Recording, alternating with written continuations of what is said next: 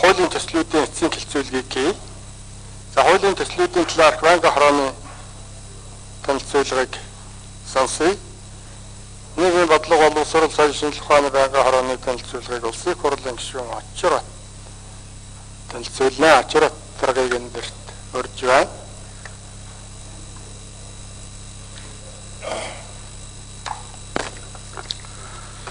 Улсын хурлын дарга эрхэм гишүүдээ эрүүл мэндийн тухай хуулийн шинжилсэн найруулгын төслийн анхны хэлэлцүүлгийг Улсын их хурлын 2011 оны 4 сарын 7-ны өдрийн нэгдсэн хуралдаанаараа явуулж төслийг эцсийн хэлэлцүүлэлт бэлтгүүлэхээр нийгмийн бодлого боловсрол соёл шинжилх ухааны байнгын ороонд шилжүүлсэн билээ. Эрүүл мэндийн тухай хуулийн шинжилсэн найруулгын төслийг эцсийн хэлэлцүүлэгт бэлтгэсэн тухай асуудлыг нийгмийн бодлого боловсрол соёл шинжилх ухааны байнгын ороо 2011 оны 5 дугаар сарын 3-ны өдрийн хуралдаанаараа хэлэлцээд дараах санал танилцуулгыг улсын их хурлын нэгдсэн хуралдаанд танилцуулж байна. 1. Нэгдсэн хуралдааны анхны хэлэлцүүлгээр гишүүдийн олонхын санал авсан зарчмын зөрүүтэй саналын томьёолыг хуулийн төслийн холбогдох зүйл хэсэг заалтад нэмж тусгаж найруулгын чанартай өөрчлөлтүүдийг төсөлд тусгалаа. 2. Төсөлд шинээр нэмэгдсэн 8.1-ийн 3-т бүсийн онцлогын амжилтгээний төв 14-ийн 2-т 15-ийн 1-ийн 10 гэж нэмэх.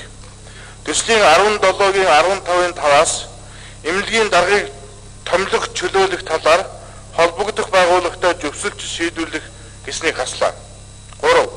Төслийн 16-гийн 4-ийн нэг өрхийн эрүүл мэндийн төвд ноогдох иргэний тоо 6000-аас доошгүй байна гэснийг өрхийн эрүүл мэндийн нэг төвд ноогдох иргэний тоог засгийн газар тогтооно гэж өөрчилж 16-гийн 10-ын амарчих газар гэсний дараа сум гэж 24-ийн 6-гийн 4-ийн гамшигын гэсний дараа нийтийг хамарсан халдвар төвшний дэгдэлтийн гэж тус тус нэмлээ. 4. Нэгдсэн хуралдааны анхны хэлэлцүүлгийн дараа хөдөлмөрийн хөлсний доод хэмжээ 30%-аар нэмэгдүүлж 140,400 төгрөг болгосонтой холбогдуулан төслийн 45 дугаар зүйлийн захиргааны хариуцлагын талаарх заалтын 10-аас 25 гэснийг 5-аас 10, 25-аас 50 гэснийг 10-аас 25, 50-аас 100 гэснийг 25-аас 50 болгон өөрчлөлөө. 5. Нэгдсэн уралдааны анхны хил зураг төслийн 19-ийн 2 дахь хэсгийг хэвээр үлдээсэндээ уялдуулж аж ахуйн үйл ажиллагааны тусгай зөвшөөрлийн тухай хуулийн 15 дугаар зүйлд улсын хэмжээний болон гадаадын хөрөнгө оруулалттай эрүүл мэндийн байгууллага мэрэгжлийн үйл ажиллагаа явуулах гэсэн агуулгатай 15-ын 12-ын 11 дахь заалт нэмэх тухай хуулийн төслийг боловсруулж Монгол улсын их хурлын чуулганы хуралдааны дэгийн тухай хуулийн 26-гийн 24-ийн 6 заасны дагуу төслийн эцсийн хэвлэлтэй хамтран хэлэлцүүлэхээр оруулж байна. 6. Төслийн 24-ийн 2 дахь хэсгийг 2 хэсэг болгож 24-ийн 2 Улсын төсвөө санхүүжих тусламж үйлчилгээ үзүүлэх заавар өвчин эмгийн жагсаалт санхүүжих арга төлбөрийн хэмжээг тогтоох журмыг холбогдох хууль тогтоонд нийцүүлэн эрүүл мэндийн болон санхүүгийн асуудал эрхэлсэн засгийн газрын гишүүн хамтран батлана. 24-ийн 7 эрүүл мэндийн даатгалын сангаас санхүүжүүлэх тусламж үйлчилгээний жагсаалт санхүүжүүлэх арга төлбөрийн хэмжээ болон эрүүл мэндийн байгууллагыг сонгох журмыг холбогдох хууль тогтоомжид нийцүүлэн иргэний эрүүл мэндийн даатгалын тухай хууль заасан эрүүл мэндийн даатгалын удирдах дээд байгууллага батлана гэж өөрчлөн найруулах тухай улсын хурлын гишүүн эс эдний зарчмын зүйтэй саналын томьёолыг тус байнгын хорон агуулгын хувьд дэмжиж төслийн 24-ийн 2-ыг 2 хэсэг болгож 24-ийн 2 улсын төсвөө санхүүжих тусламж үйлчлэгээ үзүүлэх заавар өвчин эмгийн жагсаалт санхүүжүүлэх арга төлбөрийн хэмжээг тогтоох журмыг холбогдох хууль тогтоомжид нийцүүлэн эрүүл мэндийн болон санхүүгийн асуудал эрхэлсэн засгийн газрын гишүүн хамтран батлана. 24-ийн 7 эрүүл мэндийн даатгалын сангаас санхүүжүүлэх тусламж үйлчлэгээний жагсаалт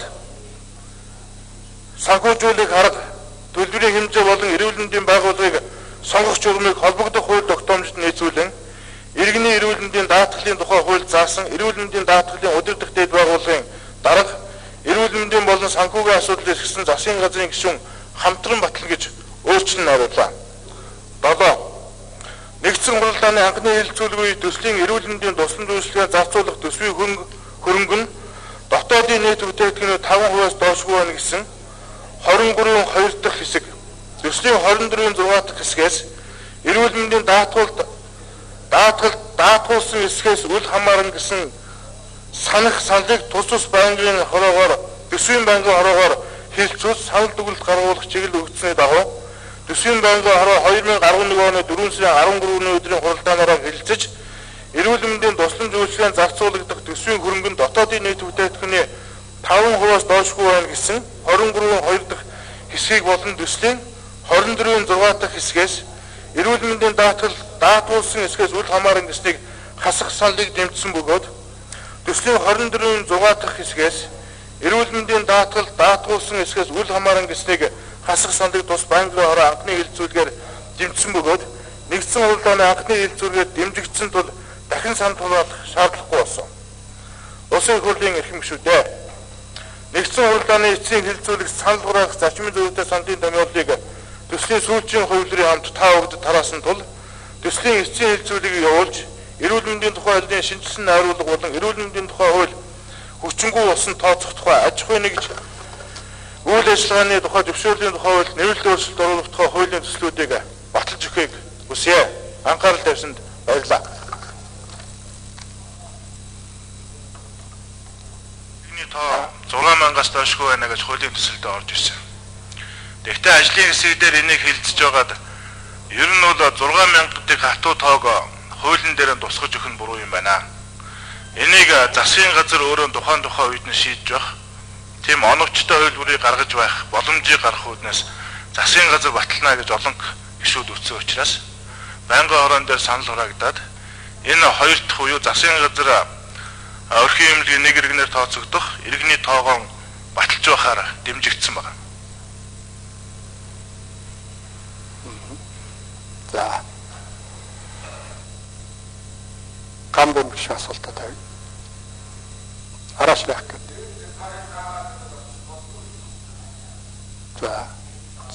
За, дэд топ хязгаар тогтоож болоогүй юу гэж. Дэд хязгаар. Очроод хариулъя. Ер нь бол тэр засгийн газар өөрөө тоогийн тогтоох хувилбар дээр уул нь 6000 гэдэг тоон дээр байхаар бол дээд доод хязгаарын тогтоогдлоор араас гишүүн мөнгө хөргөл гишүүн санал гаргаж байсан. Одоо засгийн газар өөрөө тооны хязгаарыг өөрсдөө тавьж чөлөөтэй хөрөх байдлаар тавих учраас заавал дээдлийн хязгаарыг тавих, доотлын хязгаарыг тавих шаардлагагүй маа гэж үзсэн. За. За баярлалаа. Гамбэм гишүүн. За тэр гамбэм гишүүн 24-ийн 2 дахь заалтыг асууж шүү байна эрүүл мэндийн даатгалтай холбогдлоод эрүүл мэндийн даатгалын сангуужилт төлбөр төлөх арга хэмжээ тэрийг сангуужилтын холбогдлолтой асуудлыг асууж байна. Жохом хойш нь дахин нээлттэй үлдээгээд дараагийн хилцүүлэгт орж болох эсхийг бол мэдэхгүй хэлж мэдэхгүй байна. А ер нь бол өнөөдрийн орж ирсэн эрүүл мэндийн хуулийн дээр бас эрүүл мэндийн даатгалын хууль одоо дараа нь орж ирнэ. Энэ дээр бид ажлын хэсэгтээ бас нэлээд ярилцж байгаад засгийн газрын оруулж ирсэн санал за үйлдвэрчний хөвлөл ажил олгогчдоос оруулж ирсэн саналын дундаж хувилбарыг авч байгаа.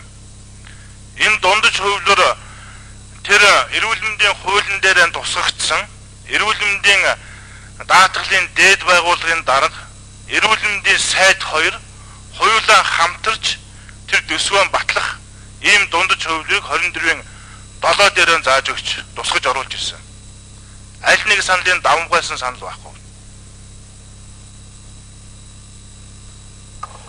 Ламбасад нэг хариулъя. Сүхбаатар гишүүн асуулаа.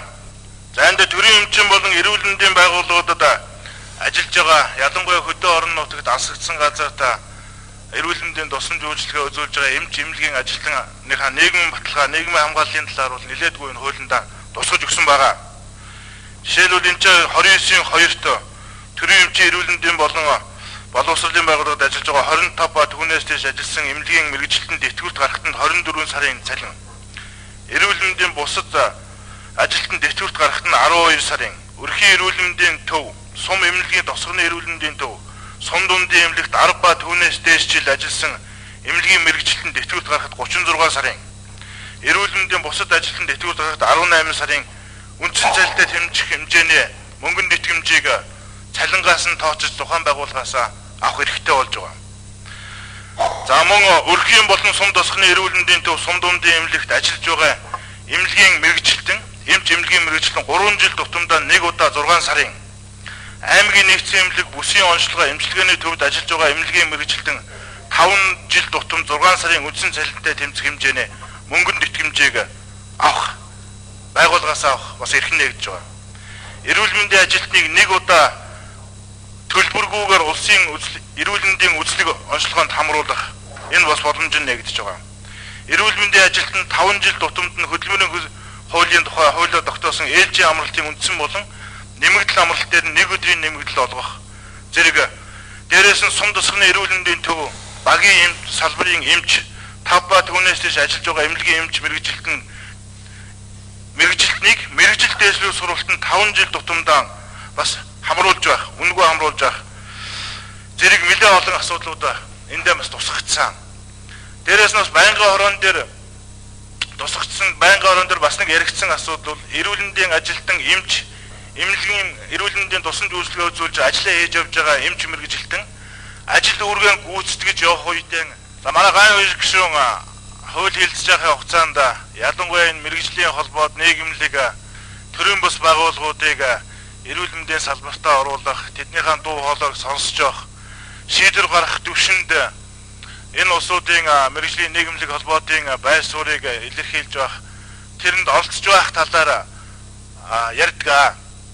Хуулиндаа таны оруулсан байнгын хорон дээр хилцэгдэж байнгын хорон дээр санал хураагдаж энэ мэрэгжлийн холбоотыг энэ тухайн тухайн заалтууд дээр маш олон заалтууд байгаа хэсгүүд дээр энэ дээр оруулсан санал хэвээр юм байна. Та энийг дахиад сайн харахыг хүсэж байна. Энэ саналууд бол хэвээр юм байгаа гэж. Удирдлагын зүгт бол ер нь бол энэ эрүүл мэндийн удирдлагын заалтан дээр хуулийн удирдлагын заалтаа 11-ийн 3 сум тосгоны эрүүл мэндийн төвийн даргаыг тухайн шатны засаг дарга аймгийн эрүүл мэндийн газрын дарагтайгаа зөвсөлдөж томилж хэлүүлнэ гэж байгаа. За мөн 12-ийн 2-т аймаг нийслэлийн эрүүл мэндийн газрын дарга нь тухайн шатны засаг дарагтай зөвсөлдөж харийн эрүүл мэндийн байгууллагын даргыг хууль тогтоомж заасны дагуу томилж хэлүүлнэ гэсэн заалт яг энэ хэвээрэн байгаа гэж. За үйлчлүүлэгчт нь ер нь эрүүл мэндийн тухай хууль маань бол дөрөв ярьж исэн. Ер нь эрүүл мэндийн салбарын дөрөв сайд нь бас ярьж исэн. Энэ бол үндсэн эцэг хууль, эрүүл мэндийн хууль бол. Эрүүл мэндийн хуулиар зөвхөн тэр даатгалтай холбогдлолтой, санхүүжилттэй холбогдтой асуудлаар эрүүл мэндийн хууль гол асуудал нь явахгүй. Гол үндсэн асуудал нь бол эрүүл мэндийн хууль өөрөө шинжлэгдэж гарч байгаа саяны өөрчлөлт орж байгаа энэгээр юм бол эрүүл мэндийн хуулийн ач холбогдол байгаа.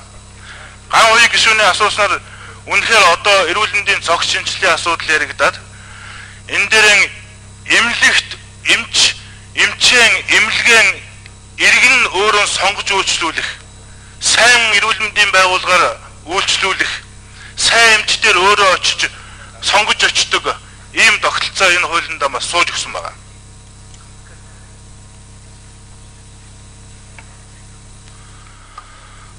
Эрүүл мэндийн хуулийн дээр санхүүжилтийн асуудлыг маргаантай байгаа асуудал нь гол нь энэ асуудал 24-ийн саяны загж гүшүүнч ярьлаа, төрүүчийн гүшүүч бас ярьлаа. 24-ийн 2-ын энэ заалт их маргаантай байгаа.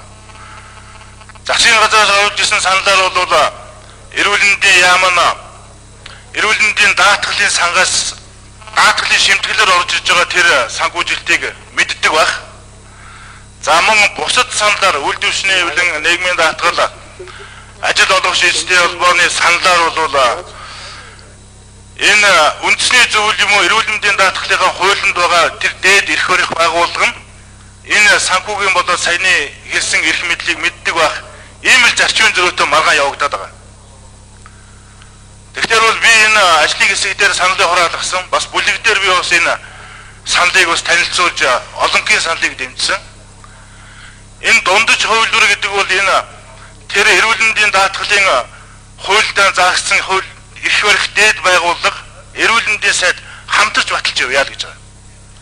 Энэ шилжилтийн хугацаанд энэ эрүүл мэндийн цогц шинжилгээг хийх, санхүүгийн шинжилгээг хийх энэ хугацаанд дундын хууль Монгол дундаж хувилбар бас байх ёстой гэж. Аль нэг тал руу нь шууд эрүүл мэндийн яам энийг шууд санхүүжилтийн асуудлыг бүрэн шийддэг юм уу? Эсвэл тэр үндэсний зөвлөл гэж тэр эрүүл мэндийн даатгалын хуулиндаа гарч ирэх тэр дээд байгууллага аль нэг тал руу шууд шийддэг ийм аль нэг тал руугаа орсон биш хоёулаа хамтдаа шийдчих болох хуулбартай. Өөрөөр хэлбэл эрүүл мэндийн яамч үндэсний тэр хуулиндаа гарсан дээд байгууллага хоёр нь хамтраад асуудлаа дундаа энэ бол энэ яг 24-ийн хоёртой тэр хамтран батлах эрүүл мэндийн даатгалын хуулийн дээр эрх барих одоо дээд байгууллага мэндийн яам хамтран батлах энэ хуулбар бол их зүйтэй хуулбараа гэж би бас бодож байгаа юм ч гэнэ үед.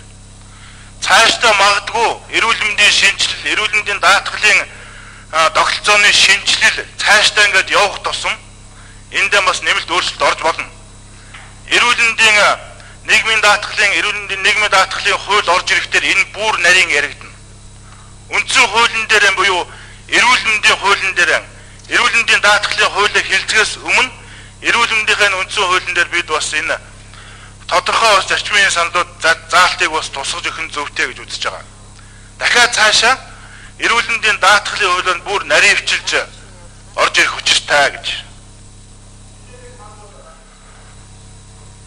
За сая баярсайхан гүшүүн эрүүл мэндийн даатгалын батлагдаж гарахтай холбогдлолтой бас зарим асуултыг асууж явах шиг байна. Тэгэхээр одоо эрүүл мэндийн даатгалын хууль маань эрүүл мэндийн хуулийн дараагаар дахиж орж ирнэ. Ер нь бол таны ярьж байгаа зарчимтай нэг байна. Үнэхээр эрүүл мэндийн салбар эрүүл мэндийн санхүүжилтэн дээр эрүүл мэндийн салбар тэр төр захааны дээд байгууллага яам нь бол оролцож явах зүйтэй гэдэгтээ санал нэг байна. Энэ хамтран 24-ийн 7-гийн өдөрдох эрүүл мэндийн даатгалын дээд байгууллагын өдөрдох байгууллагын дарга эрүүл мэндийн сайд хоёр хамтран баталж байгаа дээр бол аль нэг тал руу нь хоёр хуваагаад юм уу дундуур нь одоо саарамжуулж хайсан асуудал биш. Аль аль талаасаа хяналттай, аль аль талдаа батлагтай, аль аль талаасаа зөвшөлдөж ийм баталдаг л хувилбар. баталж батлах болох уу болохгүй юу хуулийн зүйн талаас болж гэнэ үгүй юу гэдгийг хамгийн газрын хуулийн зөвлөхүүд тэгээ бас зөвшөлж чигээсэн асуудлаа. Тэрнээс дангаараа зөвхөн ажлын хэсгийн гишүүд оруулаад ирсэн асуудал биш. Болох хэсэг талаар бас лавлгаа энэ зөвлөхүүдээс бас авч болно.